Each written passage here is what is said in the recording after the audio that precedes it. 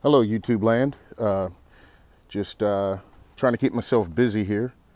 And I have cut up some straw and basically I've chopped it up. This is a bunch of chopped straw that is going to go uh, into this tub. And once I put it into this tub, I'm also going to fill it with water and uh, some hydrated lime. And what we're going to do is pasteurize the straw.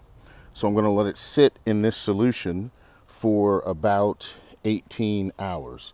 And after 18 hours, um, we will then be able to take it out, let it dry, and then inoculate it with some mushroom.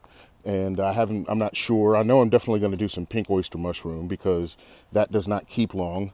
But I have some other um, varieties in the refrigerator like uh, golden oyster and uh, pohu and some blue oyster. Um, along with some shiitake, which I don't use this for, and some uh, lion's mane. So, neither event, this is our straw, nice and chopped up. And uh, from here, we're just going to take this straw and uh, let it soak for about 18 hours uh, with uh, hydrated lime. And I'm only going to use about a handful or two into this solution.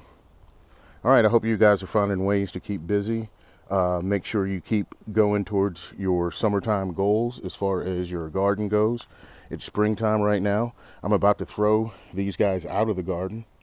Uh, they're just making a mess, but right now they're fertilizing. So as long as they keep fertilizing, I'll let them hang out here.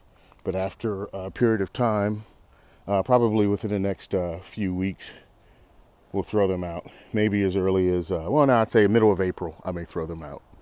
So, all right. Hope everyone is planting their garden. I'll uh, continue this tomorrow and let you see what it looks like after it's been pasteurized, which is basically just wet.